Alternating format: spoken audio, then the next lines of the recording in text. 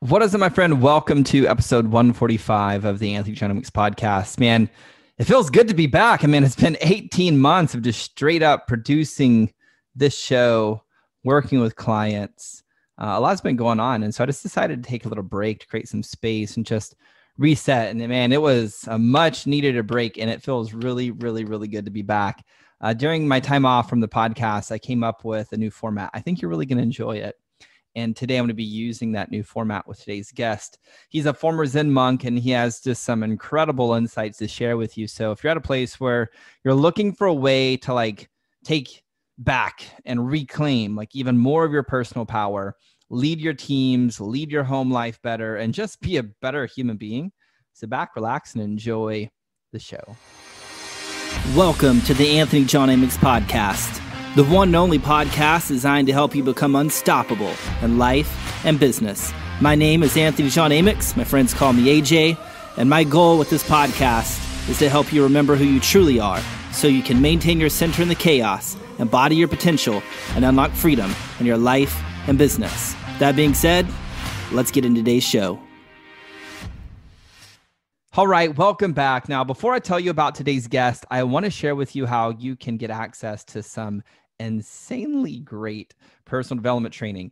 It's all about how to rewire and transform your subconscious patterns in 90 days or less so you can embody your potential and unlock freedom in your life and business. And you can get immediate access to that training by going to trainingwithaj.com. There's no opt in, there's nothing of that nature. Simply go to training with aj.com if you want to learn how to take advantage of some unconventional wisdom to embodying your potential and creating life on your terms now that being said let me tell you about today's guest his name is allan knight he's a former zen monk and he has spent more of his life infusing eastern philosophical wisdom into a practical nine step formula to help ensure people just really live an extraordinary life. And we talk about that a lot on this episode. And I could sit here and I could tell you all about him and his story and all the stuff, but I'd rather just he do it and you'll get to know a little bit more about him in our conversation. So with that being said, let's bring Allan onto the show.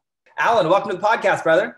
Thank you so much for having me. It's an honor to be here. I know that you're doing a lot of great work and uh, I'm so g- grateful to be connected to you.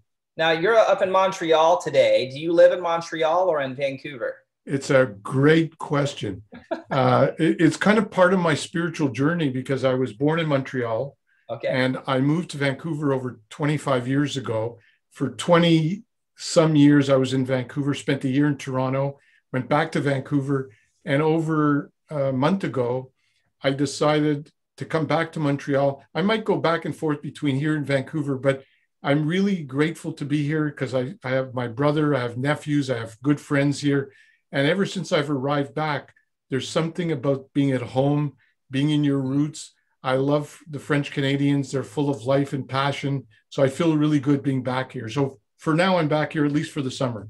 Amazing. Have you ever been to France by any chance? I'm just curious. I, I've been to Europe three times and I was in France a couple of times. It's quite different. Quebec, have you ever been to Montreal or in I France? Haven't, I haven't. I haven't been up to, to Montreal, Quebec area yet. Well, you'll have to come visit. I would love that. Make sure it's in the summer. Of uh, course. But of course, you guys are crazy with your cold weather. I have clients up there. I don't know how you guys do it. Uh, uh, that's why I go back to Vancouver. At least it's moderate there. I love it. But fr- fr- France is very different than Montreal. France mm. is kind of sophisticated. A lot of there's a lot of history, but the people are quite opposite. French Canadians are a bit more guttural, but very alive, passionate, fun loving. Joy. It's called joie de vivre, the joy of life. And I think I've benefited by being here in that regard because when you live here, it infuses your soul. Mm. So when I came back here, I said, wow, people are so alive here compared to almost anywhere else I've been. So it's great to be here. Yeah, the reason I asked that question, eh, you know, I, I live here in Texas. I, I love Texas. I've traveled a, a, whole lot, and, and Texas is definitely a place that feels like home.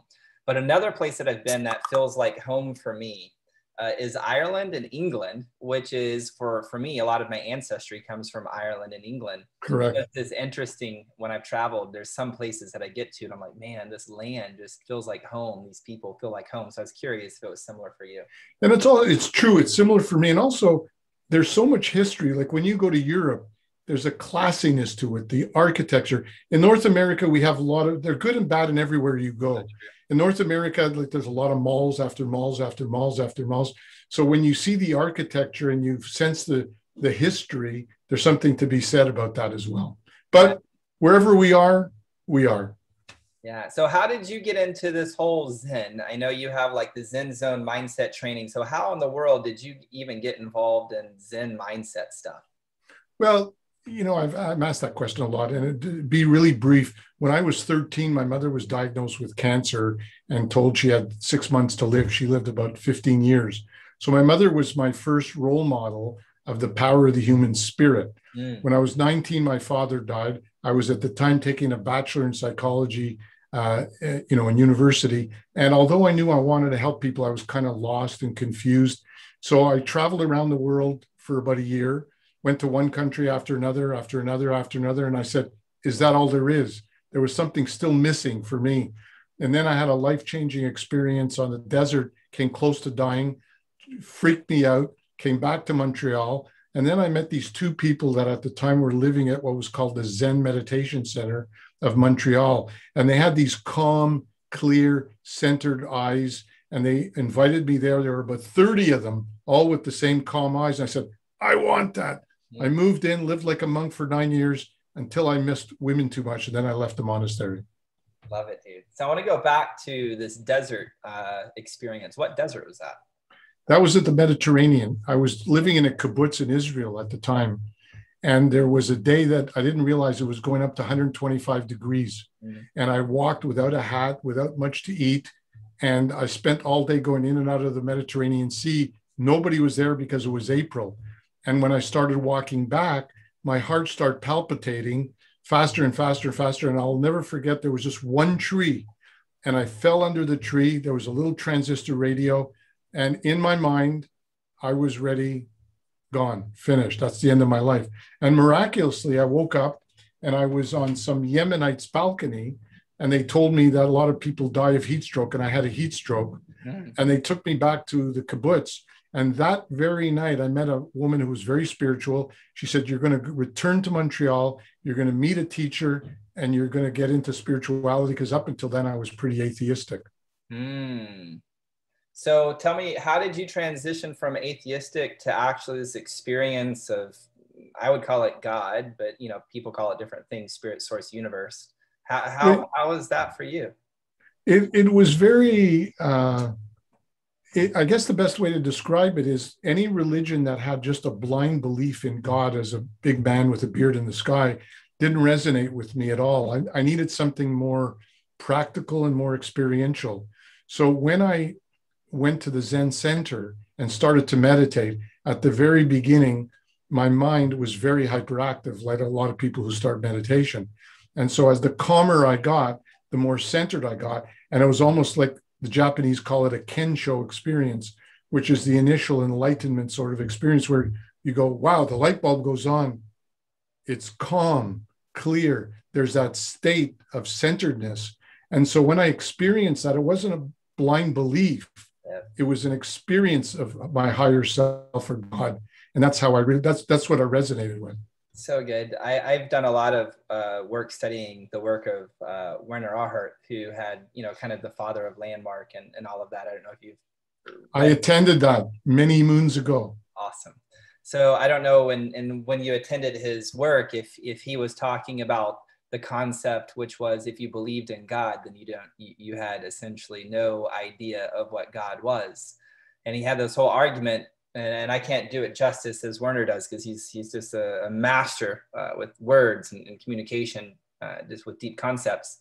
But if we have to say, well, we believe in God, then we we believe in nothing because, like you you said, like it it wasn't a belief, it wasn't a mental construct of your mind of this this thing. It was you experienced it it was the experience and and and that's where ultimately maybe the soul is it's just in the experience. Would you agree with this kind of werner's philosophy and your own experience? Absolutely because nothing was going to change my mind about anything unless i actually experienced it. I could say the same thing for reincarnation.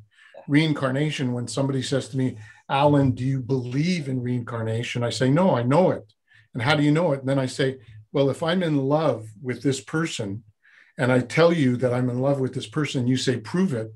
I don't have to prove it. I know it. I know I'm in love in the same way that I know reincarnation is real. And, and that came from deep, deepening my meditation. So I agree with you. For me, it was only going to happen uh, if I actually experienced results and transformed rather than just out of blind belief uh, say, I believe. Yeah. What have been some of like the real world practical results you've experienced through like your Zen mindset, meditation, and, and some of those practices? Well, it's interesting because when after nine years of intense meditation, chanting, and, and the like, uh, when I, I kind of felt I, I was really missing something. And when I re-entered the not the, the ordinary world, I realized that getting into the Zen zone and spirituality unless it's connected to every aspect of life, was going to be limited. And not only was it going to be limited because I was a bit of a basket case when I got back into the world, and I realized too that it was it was good because I tapped into the Zen zone. But the negative side is I wasn't an integrated person. So I realized quite quickly that unless I connect all the missing parts, it was going to be very limited. And I realized meditation wasn't the only answer because when I got into meditation and tried to teach meditation, there was one woman friend. I, I said, Oh, meditate. You got to meditate. You got to meditate. The more she meditated, the more angry she got because she never dealt with her emotions. So that's a one way that I realized later when I came out to Vancouver that my destiny was to create a holistic approach to what I call the nine step formula to tap into the Zen zone and stay there. Inner fitness, inner calmness, inner confidence, and start mastering your communication. So it connects the whole person. That was the reason I did that. What's your definition of an of like an integrated person? I I, I believe, and my experience has been, it's it's super important, and most people are not integrated. Um, and I think a lot of people have a concept that they think Zen and and and, that type of thing is nothing, right? Not, it's nothingness. It, if you have thoughts, they mean nothing. Like a, a Zen mindset is really, I don't know how to put this into words. It's almost like maybe the logos, the the nothingness, consciousness, which is that's one side of the paradox, right? Order. But then you have the other side of the paradox, which would be the chaos and the expression and maybe potentially emotion. What's your thoughts on being what it requires to be an integrated person? Well, your question, which is so profound and wonderful, is the very reason I've spent 30 years in the laboratory hmm. to come up with what I teach people now. In that, one of my ma- mentors that I love very much and helped me a lot was Ram Dass. You probably know Ram Dass, Richard Alpert. Are you familiar with his work? Yes. So he talked about emptiness because in Zen they talk about form and emptiness. Mm-hmm. Emptiness is form, form is emptiness. The trouble with a lot of us, including myself, when I first got into Zen, is I was seeking the empty, emptiness, meaning I just wanted to be free. Yes. I wanted my mind to be quiet. I wanted to get away from the noise. I wanted to get away from the dysfunction. So, to experience the deep level of inner peace and tranquility was what I thought I was mainly after. I was after it, but only partially, in that the so called emptiness or the calmness and the centeredness should be the focus, the basis of everything else, that everything else ripples out of that. So if if I can paint a picture, which I often do, if the Zen zone is here, it's connected to the emotions, it's connected to the mind, the rational mind, it's connected to the physical body, which ultimately is connected to our relationships. So if our mental psychological stuff is out of whack, hyperactive thinking, negative thinking, emotional turbulence limits our ability to get in the Zen zone. There's a lot of dysfunction and difficulty we're going to experience. But if we get in the Zen zone as the higher self leading the show, mm. transform our mind into positive, channel our emotions into joy and passion and enthusiasm, channel our physical activity into balance, and then ultimately mastering our communication day by day business and personal, all those cylinders need to be working. And that's why I created the nine step process that I did. So good. And I think somebody listening to this, because this is super profound, maybe they'd listen to what you just said and be like, well, that's really complicated. what what advice would you have for them as they're like looking at all of this and they're like, well, how do you even pull pull all of that off? That seems really complicated. It seems like a lot of work.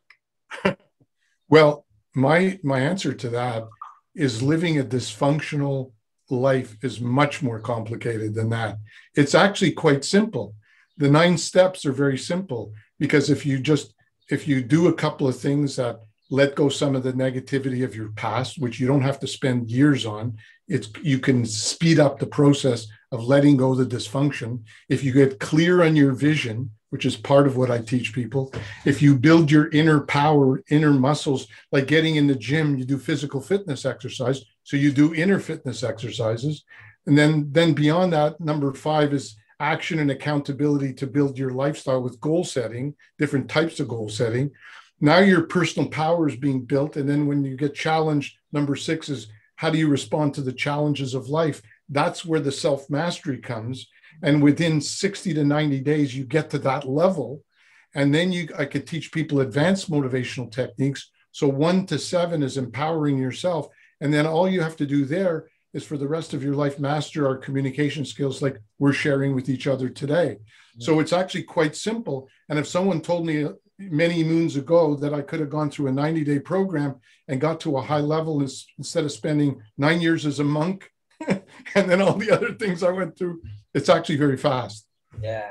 Has anybody ever told you you're crazy?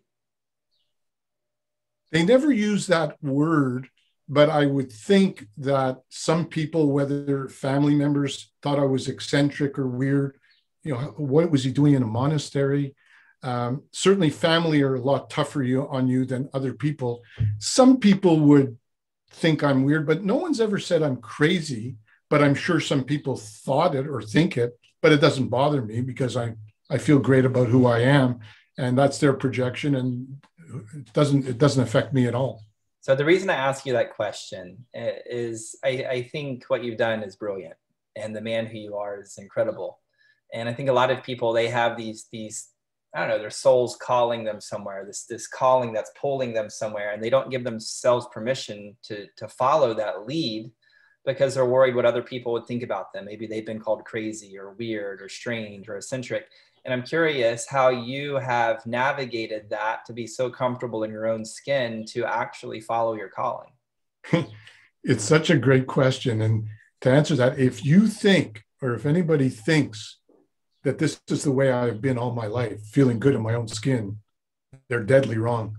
As a matter of fact, my whole life was about living in the shadow of my brother, who was Mr. Everything. Going to see him Thursday. It's his birthday. We have a great relationship now. Well, we always did. But my brother was first in his medical school, so good looking, popular. He was everything. I was a good athlete, but I was quite insecure, even though uh, people you know liked me and I was semi-popular, I was always very hard on myself and self-critical.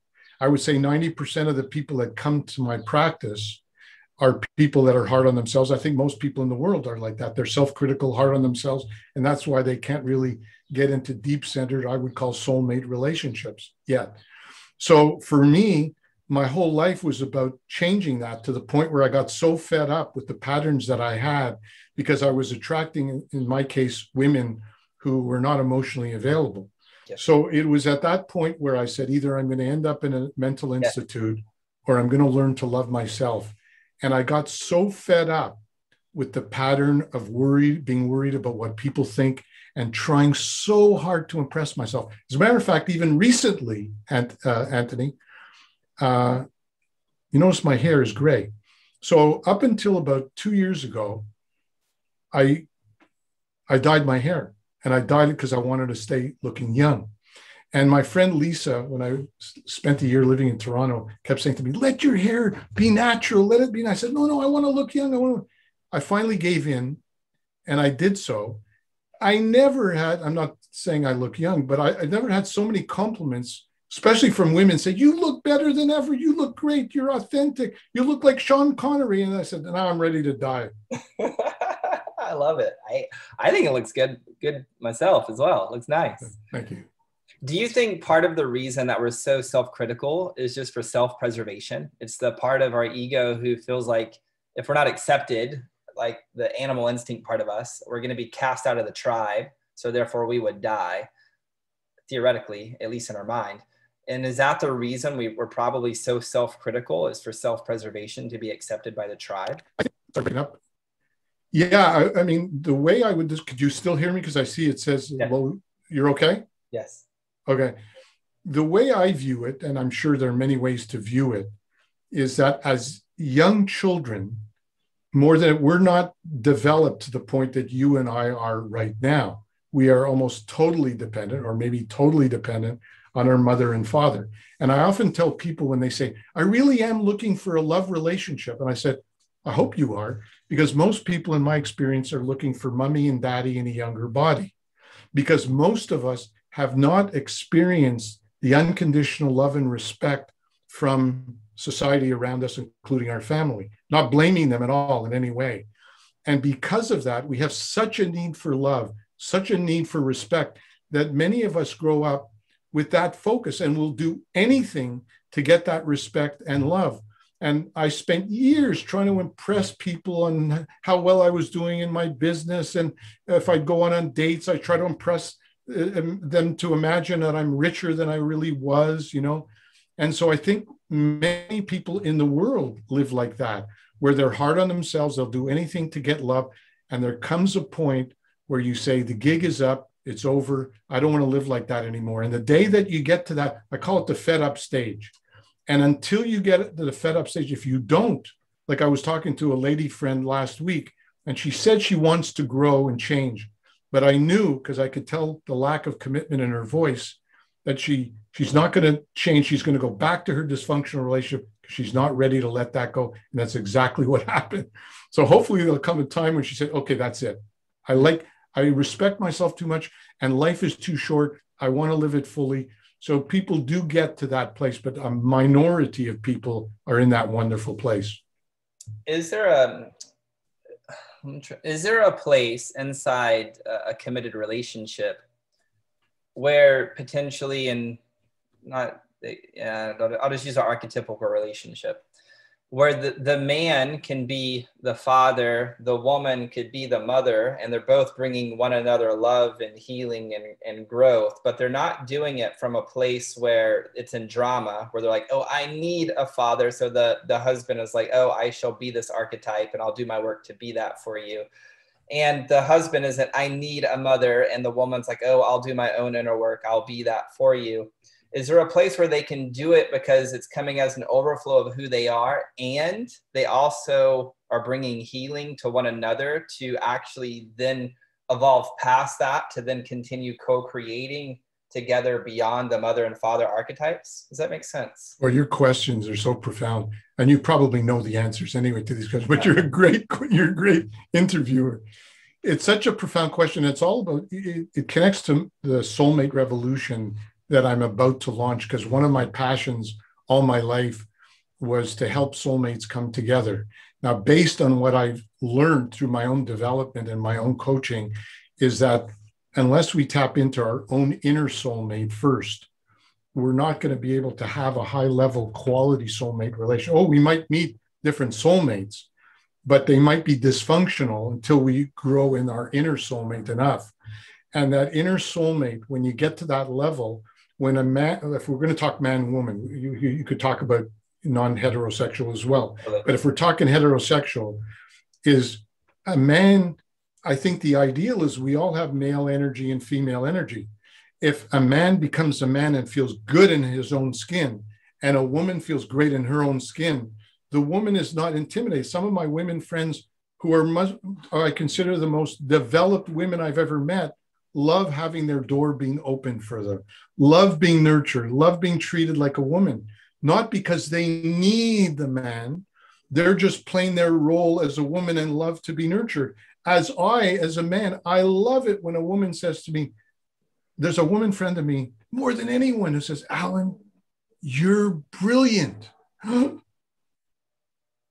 I'm not insecure that I need to hear that, but I feel wonderful and if I was ever going to get with my next soulmate, if that's in the destiny plan, it would be a woman, only a woman who's working on herself enough that I and her could be two developed souls who could play those roles without dysfunction. Yeah. Awesome. Now, for me, I have recently really felt like a pull to go back and get involved inside uh, the church. So I go over to, to Gateway, uh, the Christian church.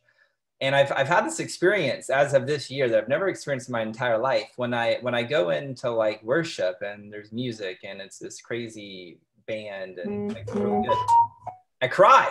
Like I just break down and I cry. And I'll go with my daughter. My daughter's two and a half, and I'll watch her and I'll just cry, man. I just cry. And it wasn't until last week I realized why I was crying. It was because I'm in the presence of the Father, the divine masculine. And there's this earthly piece of me who didn't experience that amount of father from my earthly father that I'm experiencing from this thing that I'm calling the heavenly father, the universe, whatever you want to call it, right? So, how does one enter into the mother to start creating that holistic integration with self. If we can access it through maybe potentially worship or entering into the presence of the divine father, I think people know how to access that. How do they access it for the divine mother? Is that self love or is it something different? No, I think you're on the right track there. I can only again speak for myself and what I've seen in others is that I was very guarded for a long time. So you know, like a lot of men, for example, not all men, but a lot of men, either in their head or you know what, in making money or sexuality, they always want to have they talk about sex or they talk about making money. Not a lot of men, in my experience, like, oh, I'm having a wonderful relationship. I'm growing very well within my my my what with my relationship with my wife. So I know in my case, there came a time where I realized I was too stiff. I asked five women friends, how do you view me? And they all said the same thing. You're really intelligent. You're a wonderful guy, but you're way too stiff. You're way too uh, uptight. And I, I started to realize that I needed to lighten up a little bit. And I started to let go my guard. And I started to do things. I started to dance more. I started to do some of my inner fitness exercise, not just meditation, I would chant and then bring out my emotion. I would cry more. I would laugh more. I would get angry in a healthy way. And I found that by channeling, getting more vulnerable with me, by getting more into self loving of me, getting a massage, not being afraid to receive, because I was so used to giving and not receiving. And I was afraid to hear positive things or to receive a hug. I started to consciously do things that were bringing out more of my own female qualities. Mm. And that's how I found I was able to tap into more of that motherly, if you want to call it, side. So the female side is it just more expression, like trusting your own desires, and like more of that eccentric side, more of that expression?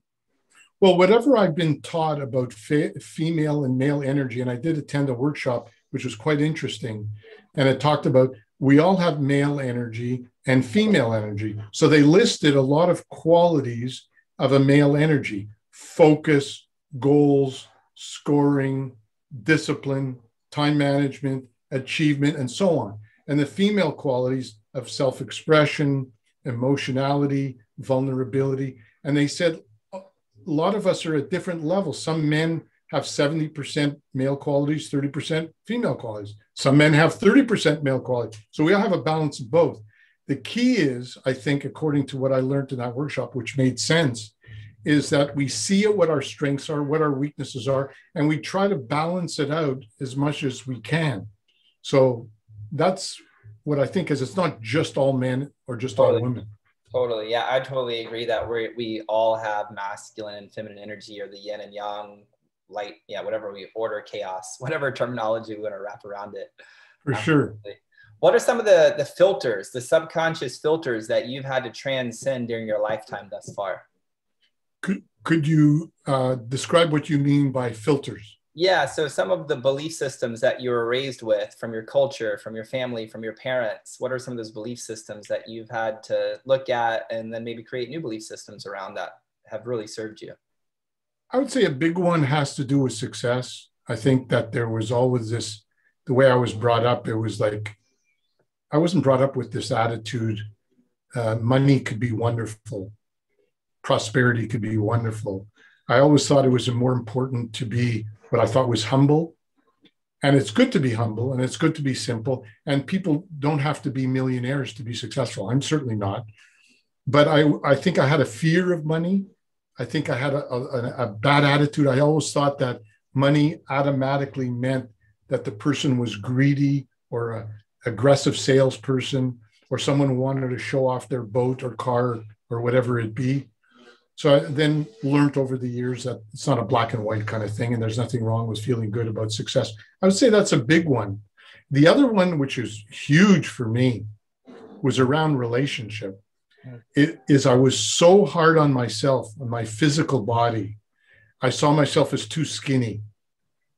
And I to the point where when I was in summer, I know it sounds funny because a lot of people have have a challenge when they're overweight and they don't realize that men especially could also uh, have an issue about being too thin but it was so bad that when i attended summer camp and everyone had to go down to the swim swimming for swimming i'd be hiding out in the bunk and they would call allan knight down to the waterfront it was the worst feeling in the world you know mm. so i had a very negative attitude toward my body and i was very hard on it i thought the body we have to eat and the organs inside it. I always saw it as something gross as opposed to a great vehicle to live our life in the world. I say those, those two were pretty big.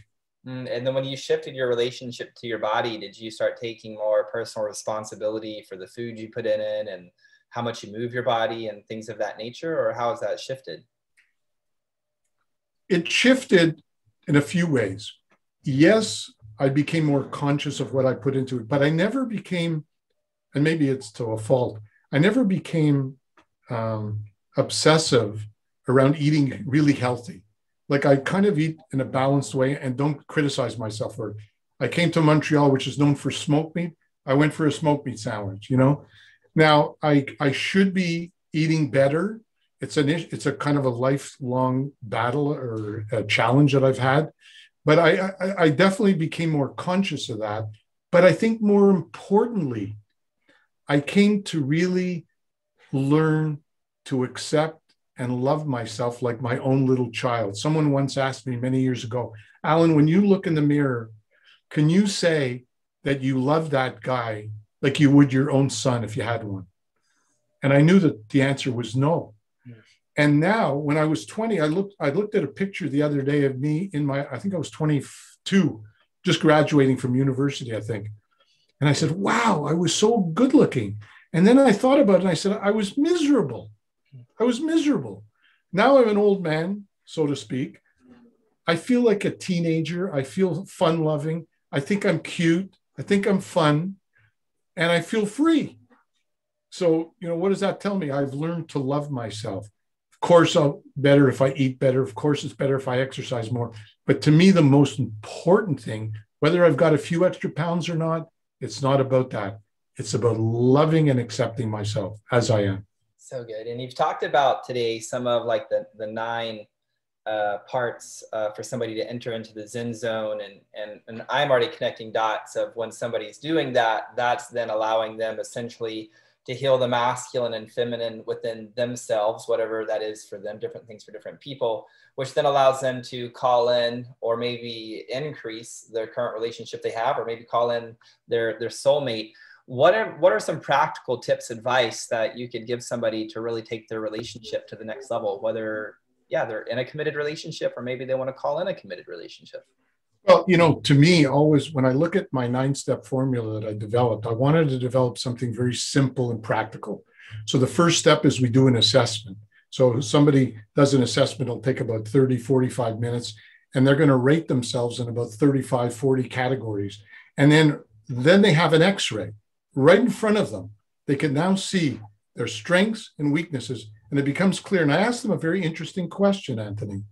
I say, if you got up tomorrow morning and you saw your cell phone was working at 30% efficiency, how quickly would it take to call the phone company? Oh, right away.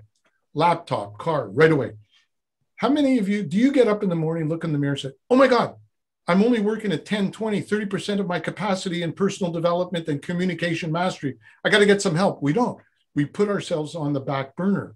Okay. So if we could get that assessment and see here's my strengths, here's my weaknesses. Every month I'm going to redo the exercise to watch my scores increase. Then it makes sense to go to step number two, which is healing the negative past. And we have exercises around that. Then number three is to crystallize your vision to get clear on your direction and who you are with an emotional attitude. No one's going to get me off track from living my dream lifestyle. One, two, and three are easy peasy within a week. It's done. Now the heavy lifting starts. Number four, which is tapping into your inner power. That's where I teach people inner muscle techniques and exercises. So now, if they're going to live their dream lifestyle, they got to be emotionally, spiritually, and mentally sound. And so now all those parts get strengthened.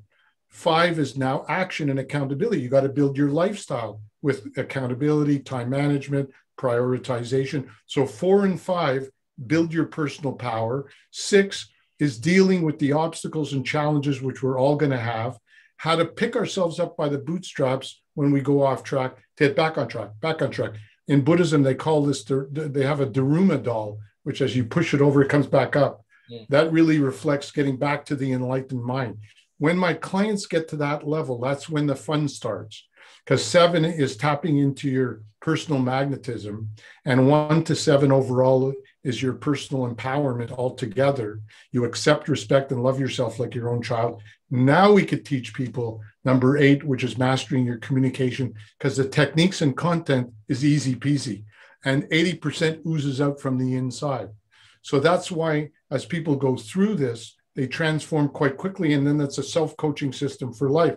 They get off track, they know exactly what to do to get back on track. Amazing. And if you could go back in time and uh, give yourself some wisdom to help you collapse time and get results faster, what would you tell your your younger self? Well, that's a really your questions are among the best I've ever had. Um, I would tell myself, of course, I don't want to look back and regret anything, but I would be much more motivated to say to myself, Allan, no more procrastination. You are going to take action more and more consistently and use every day because there's been a lot of death in my family. Mm. And I've learned not to take one day for granted. And I've come close to death many times myself. But I would say to myself, I want you to take extra steps each day to, yes, do it with freedom and joyful spirit, but I want you to become a lot more productive every day on a consistent basis. That's what I would tell myself. Awesome. Well, Allan, dude, thank you so much for being here. If people want to learn more about your system, maybe they want to work with you, where can they go to connect with you at? Well, right now they can go to alanknight.com, which is my website. They can actually go to soulmaterevolution.com, which we're just starting off. But the one thing I'll mention that my main focus now is my certified training course. So if there are people out there that want to be coaches but don't have an existing program, then uh, I want to train people all around the world in different languages, different personalities, different target audiences. If anyone is interested in being a coach, they can get through to me at alan at alanknight.com. Awesome. Dude, thank you so much for being here. Really appreciate you, Allan. Thank you. It's an honor, and you were the best interviewer I've ever had. thank you. Well, there you have it, the extraordinary Allan Knight. What a wonderful conversation. Like it's it's not every day that you just get to jam with someone on these like just taking a deep dive into this deep Eastern philosophical stuff, making it practical to, to everyday life. So I just hope you enjoyed it. I hope it inspired you, and I hope it really like fed your intellectual and your spiritual soul a bit as well. So that's all I have for you in this episode of the Anthony Weeks podcast. If you know someone who needs to hear this episode, send it over to them in their direct messages, screenshot it, share it on social media, send them an email, text message, whatever you have to do to get this episode into their ear holes. And also, please keep the five star reviews coming over on iTunes because that's what helps get this show found and serve more people. So thank you so much for being here today. Until next time, my friend, I'm out. Peace. Well, that's all I've got for this episode of the Anthony John Amyx podcast, but we have plenty more to help you become unstoppable in life and business. So head on over to ajamyx.com for exclusive resources, information, and tools to help you break through to a new level of freedom, purpose, and success. I look forward to having you back for the next episode. Bye for now.